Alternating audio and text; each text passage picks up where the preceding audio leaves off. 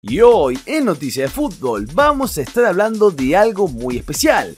El Kun se quedó en la concentración de la selección argentina de cara a la final de Qatar 2022. En busca de que todo el grupo esté unido, Sergio Agüero se sumó al plantel y va a dormir en el cuarto con Lionel Messi como los viejos tiempos. La selección argentina jugará la final del Mundial Qatar 2022 el equipo está a un pasito más de la gloria máxima, por lo que requiere de cualquier tipo de motivación para intentar llevar al mínimo la cuota de azar. A pocos días del domingo, en la delegación se decidió abrir las puertas a aquellos que supieran integrar al grupo durante todo este proceso.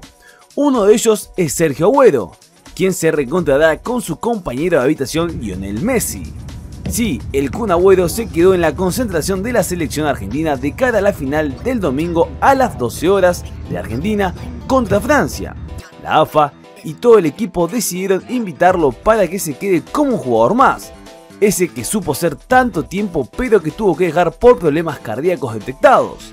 Agüero no solo se suma a la concentración, sino que vuelve a compartir habitación con su gran amigo, Leo Messi tal como hicieron durante muchos años que jugaron juntos en la selección nacional.